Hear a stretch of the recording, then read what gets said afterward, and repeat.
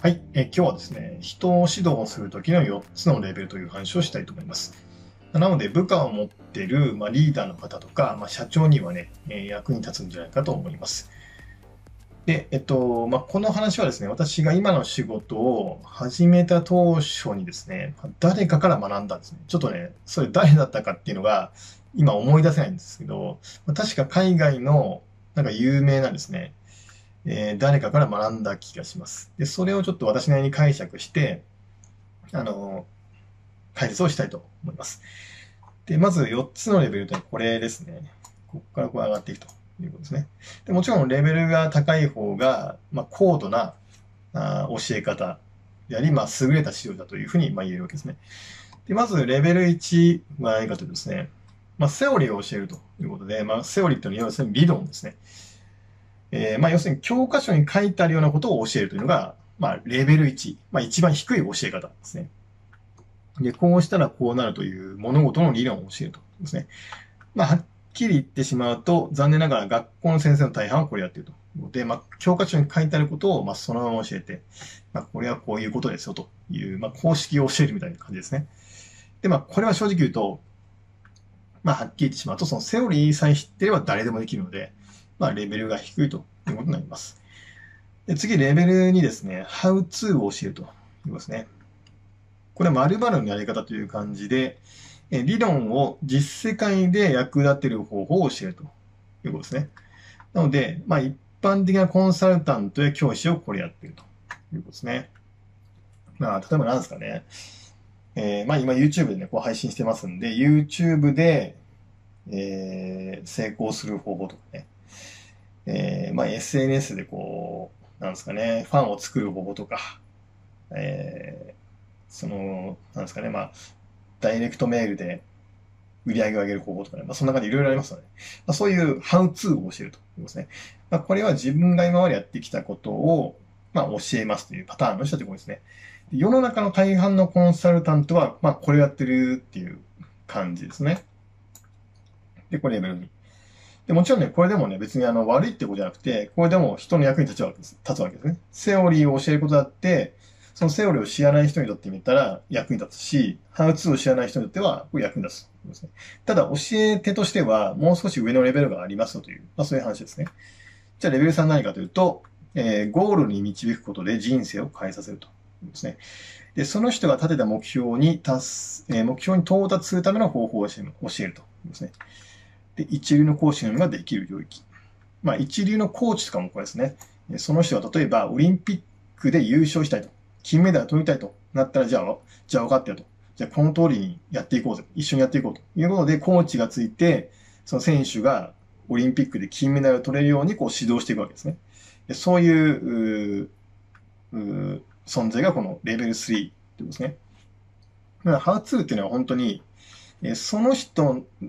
その学ぶ人の目標がまずあって、で、そこにいくつか階段があるわけですね。えー、その目標に至るために。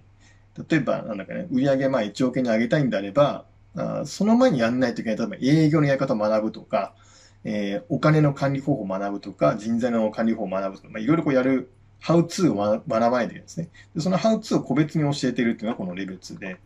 レベル3っていうのは、まあそういうハウツーよりも、むしろどういう考え方でその目標に到達すべきかということを教えると言いますね。これレベル3。これ非常にレベル高いですね。ほとんどの人はこれができないです。なので一流の、コンサルタントとか、まコーチとかだけがこれをできるとですね。これ人生を変えることができるわけですから、これ非常にレベルが高い。まあ、いわゆる師匠と言われる存在になるということですね。まあ、というわけで、まあ、一般にはここでまあ終わるんですけど、お話が、これが一番レベルが高いということで、今回はちょっとさらに上がありますよという話で、まあ、ここがメインになっていきます。それがこの人生を超越させるというですね。で、これ何かというとですね、えー、その人が思っている自分の限界を超えて成長させる。これ英語で言うとね、トランセンデンスって言います。で、これはマスターと言える教えてのみができるということですね。まあ、例えばその学ぶ人がね、えー、自分は、あまあ、こんぐらいまで行きたいのと言いますね。でもこのレベル4に達している人は、いや、お前ならもっとできるよと。そのためにはこうすべきだということをですね、えー、伝えて、その自分の限界を超えさせて、より高い、えー、レベルに到達させると。これ非常にレベルが高い、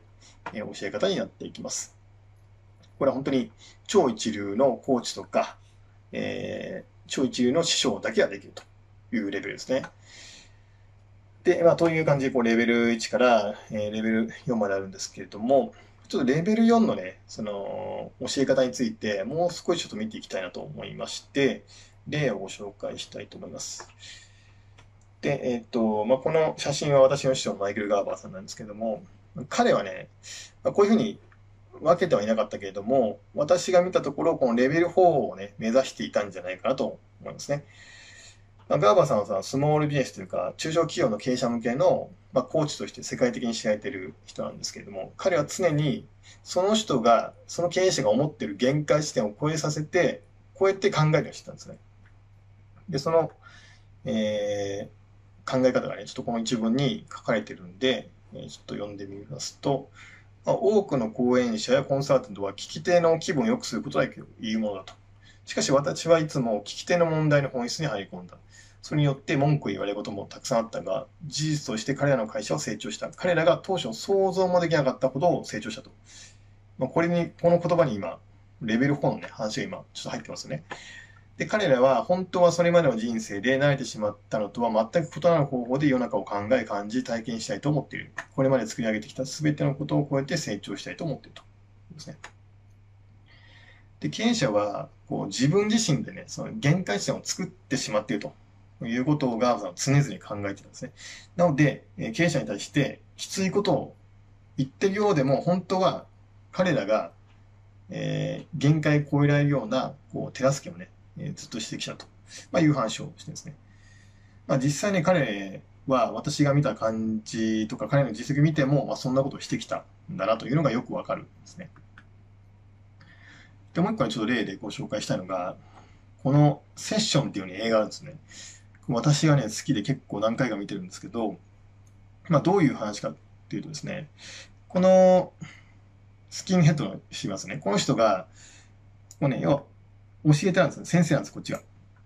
で、これドラム叩いてる少年いますけれども、まあ、彼が教え子というかですね。で、何かというとですね、この教え手の人は結構有名な、その、まあ、先生なんですね、音楽の。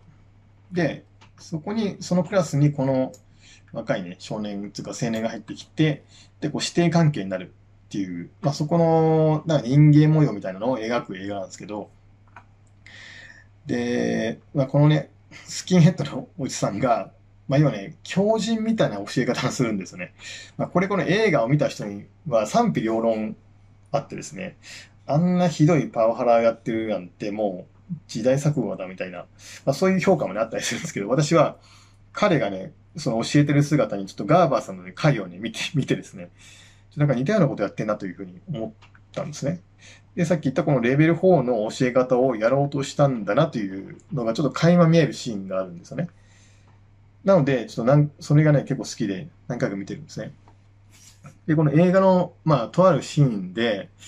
えこの二人がね、えー、まあ、ちょっと語り合うシーンがあるんですよね。で、えー、まあ、それ何かというとですね、私は期待以上のところまで生徒を押し上げたかったと。まあ、これまさにレベル4のことやりたかったというふうに言ってるわけですね。まあ、そうじゃなきゃ、絶対次のサッチモやチャリチャーリー・パーカーも生まれないと。まあ、これはジャズの名プレイヤーらしいんですけど、私はあんま詳しく知りませんけども。要するに、彼はね、その強靭みたいな教え方で非常にきつく当たるんですけど、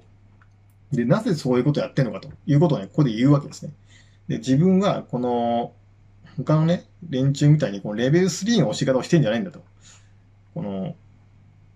お前がね、この自分の限界を超えて成長するっていうことを期待してるんだみたいなことを言うわけですね。で、そのシーンがね、結構好きで、まあ何回か見てるっていう、まあ、話なんですね。まあぜひなので、これはちょっとね、あのー、この映画をね、見ていただければと思います。Amazon プライムでね、確かに無料で見ますんで、中盤のちょっと後半ぐらいですかね、えー、このシーンが出てくるんで、ぜひ興味あれば見てください。ここで問題となってくるのがですね、このレベル4の教え方をするっていうのは、結構ね、時にね、きついんですよね、言い方が。言い方がきつくなるんですね。でガーバーさんも実際そうで、えー、彼の講座とかではですね、たまにイライラして出てしまうね、え、経営者もいたりするんですよね。まあ、それぐらい結構きついことを言う。まあ、本質的なことを言うんで、結構ね、耳が痛いことを言うわけですね。で、それが嫌で出てってしまう、まあ、その受講生もいたりするんですね。で、こっちのセッションのこの先生も、まあ、めちゃくちゃきついので、まあ、それでこう、どんどん詰めてってしまう人もいるんですね。なので、えー、先生がこのレベル4だったとしても、その、それを受ける側、教えられる側も、えー、なんていうかな、それなりの人物じゃないと、この限界値をね、超えられないということがあるんですね。で、そこでですね、えー、まあ、この、何が出てくるかというと、この、分の一文字というお話があって、まあ、これも、ちょっとね、古典に出てくる、え言葉なんですけども、えー、まあ、よくね、あの古典って、その師弟関係よく出てきますよね。あの、孔子とその弟子みたいな、よくありますよね。で、そこで、その、その弟子としてね、成長するには何が必要かっていうこともね、よく出てくるんですよ。で、それが何かというと、この分の一文字ということですね。これね、発奮するという、えー、言葉ありますよね。要するに、何か言われて、きついことを言われて、それがきっかけとなって、えー、負けないぞということで、こう自分が成長していくっていう、まあそういう発奮するっていうことありますけども、それのまあ現、それの、えー、まあそういう意味合いの言葉ですね。で、その、レベル4の教え方をしてる人に対して、えー、本当にその人の下で自分が成長できるかどうかっていうのは、その人自身ね、この分というね、気持ちがあるかどうか。言われたことに対して、えー、絶対見返してやるっていうですね、そういう気持ちがないと、レベル4の先生の下では弟子は潰れてしまうという話なんですね。で、えー、このさっきのセッションのね、ちょっと後半の部分見てみますと、まあそんなことが書いています。ちょっと全部は読みませんけども、要するにこの、ジャズのね、名プレイヤーと言われた人のエピソードが書いてあるんですけども、デビューしたての時に、まあ、ひどい目にあったと。で、それに彼は負けずにですね、えー、二度と笑い物にならないというふうに発奮してですね、まあ、めちゃくちゃ練習しまくったという、まあ、そういう話なんですね。これ、ふんというですね、この気持ちがないと、いくら教えてがレベル4でも、えー、その成長はね、止まってしまうという話なんですね。なので、まあ、教えてとね、えー、その、教わる側も、まあ、両方こう、なんていうかな、まあ、必要だということですね。まあ、というわけで今日はですね、まあ、指導をする4つのレベルっていうのをご紹介しました。もし皆さんがこう誰かをね、えー、指導するとか、なんか教えるっていう立場にあるんであれば、ぜひこのレベル4をね、えー、目指していただきたいなと思いますし、もし教わる側であるんであれば、こうね、えー、負けないぞという分の一文ですね。これ忘れずに、え、その指導をね、受けるということをやってみてはどうかなと思います。では、え、今日は以上となります。